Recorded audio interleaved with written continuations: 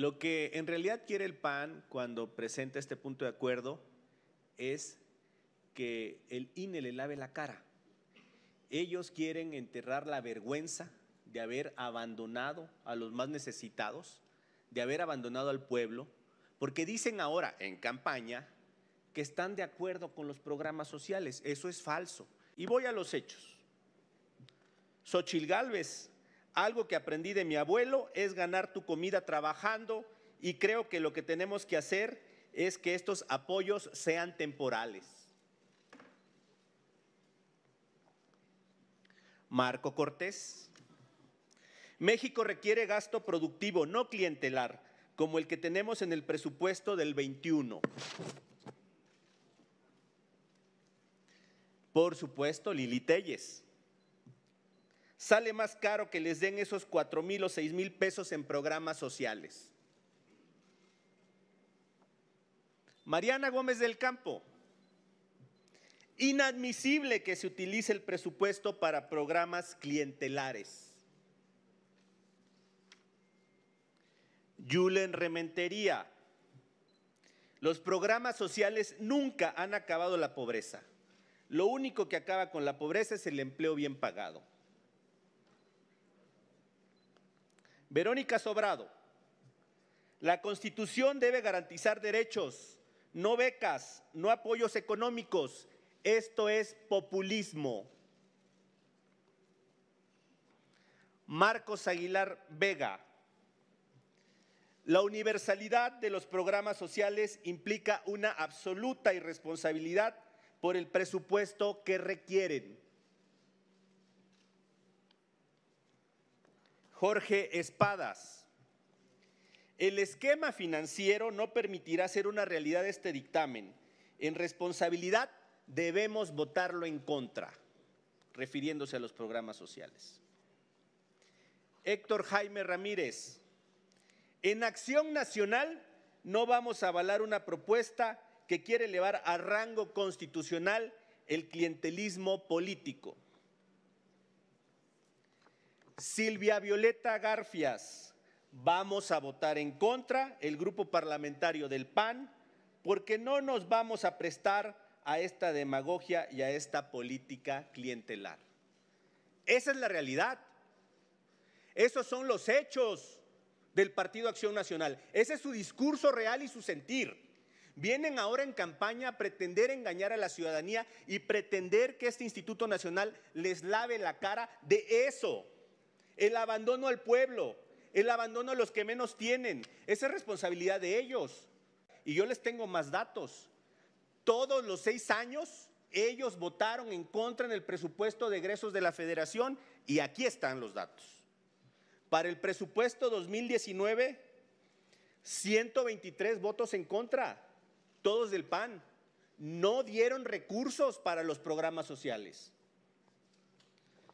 Presupuesto 2020, ahí se ausentaron. Solo quedó la presidenta que votó en contra y los demás se fueron, pero todos votaron en contra.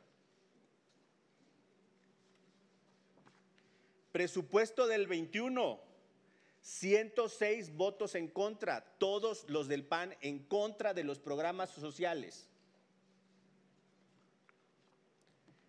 Presupuesto 2022. 199 votos en contra. Todos en contra de los programas sociales.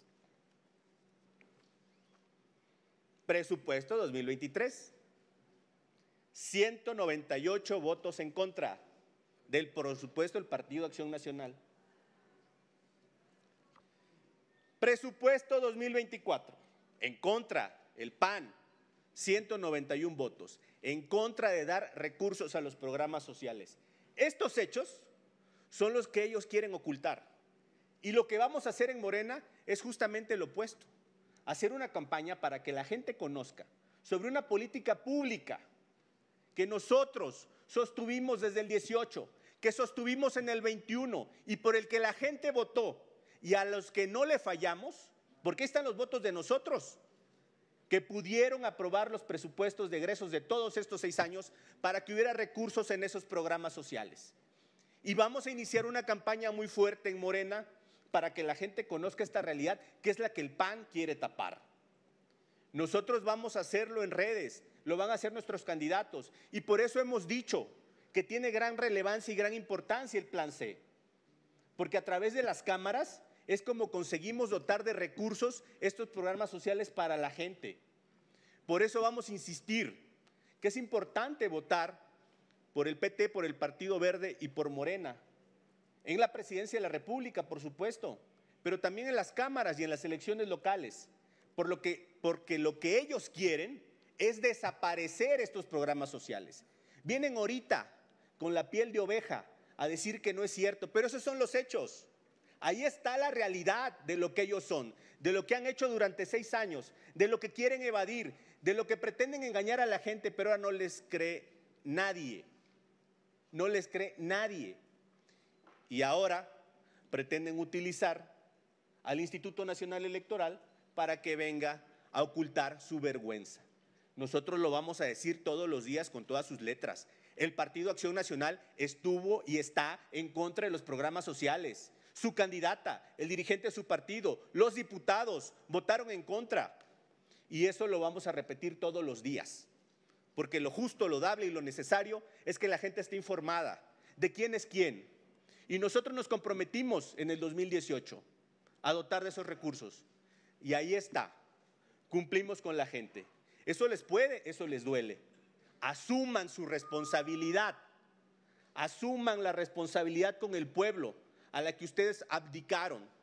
Se convirtieron en lacayos de intereses ocultos como lo hicieron en la reforma eléctrica, cuando traicionaron a México como vendepatrias, y ahora pretender venir aquí a decir que se utilizan los programas sociales, no señores, no se utilizan, pero en el debate político, pero en campaña, sí vamos a hablar de las políticas públicas y vamos a hablar de la actuación de los partidos políticos durante estos seis años y cómo se han comportado. Y ahí están los hechos.